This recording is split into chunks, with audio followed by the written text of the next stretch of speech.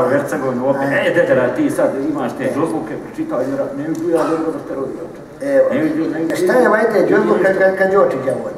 Ej, a šta ti oči? Evo ako, sad je nek, nek nam dođu sada Hrvatsko kulturno društvo Zora Kako to ga reći? Zo- Zora, ili Zora. kako to rekao ovo? Hrvatsko kulturno umjetničko društvo. Hrvatsko, Evo, Hrvatsko. evo. Koje je to ovo slovo? Ovo? Hrvatsko. A R, Hrvatsko. Hrvatsko. U nas nema to, nema, je, Nema kako ga ti vabi. Hrvatsko. Zora, Struge i Gorica. Iz Čapine. Iščatine. Aj, ajte. Ajde, momci moji. Ajde. Evo ga.